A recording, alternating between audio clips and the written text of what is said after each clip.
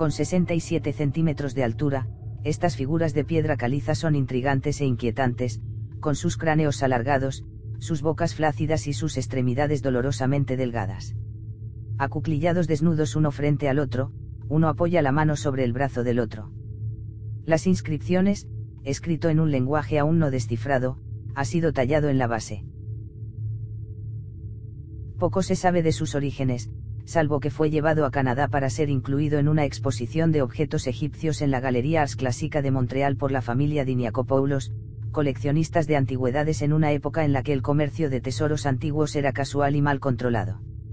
Sin embargo, como los artefactos en esta consignación estaban legalmente autorizados para la exportación, los expertos de la Universidad de Concordia, que adquirió la escultura en 1999, creen que la estatua es una auténtica antigüedad y que puede proceder de una de las tumbas de Saqqara. El Saqqara era el cementerio principal de Memphis, la antigua capital política de Egipto, en el fértil valle del Nilo. Es un enorme cementerio y muchas de las tumbas aún deben ser investigadas por los arqueólogos, aunque muchos han sufrido la atención de los ladrones de tumbas tanto en tiempos antiguos como más recientes. Según Clarence Epstein, director de Proyectos Especiales y Asuntos Culturales de la Universidad de Concordia, la escultura podría haber venido de una antigua tumba egipcia y representaría imágenes de los conquistados, personas esclavizadas por un antiguo gobernante.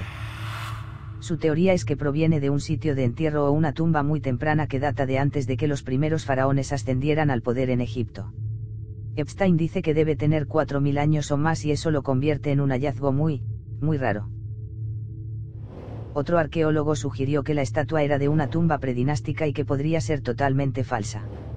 Sin embargo, el profesor George Harrison, del Departamento de Clásicas de Concordia, duda que ese sea el caso. Solo falsificas cosas que son importantes. Falsificas una moneda de Alejandro Magno porque es famoso, y alguien quiere comprar la mística. No se puede falsificar algo así, dijo.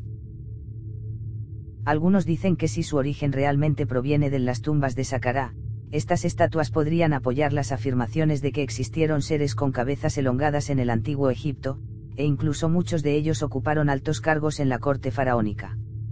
Pero se preguntan por qué fueron representados con un aspecto demacrado como si estuvieran sufriendo. Por ahora, la estatua Los Hambrientos de Saqqara sigue siendo un misterio sin resolver.